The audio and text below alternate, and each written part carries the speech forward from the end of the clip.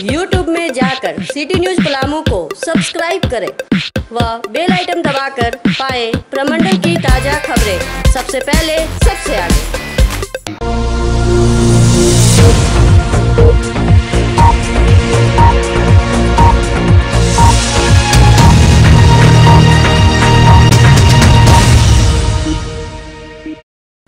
अभियान विद्यालयों को यूएमएस विलय नहीं करने को लेकर पारा शिक्षकों ने आज बालूमात प्रखंड कार्यालय के समक्ष एक दिवसीय धरना दिया।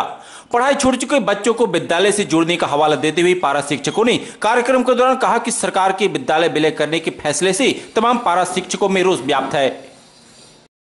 पूरा झारखंड में चल रहा है एक दिवसीय धरना, जिसमें झारखंड सरकार ने कहा है कि हम अभियान विद्यालय, यूएमएस विद्यालय को विलय कर देंगे।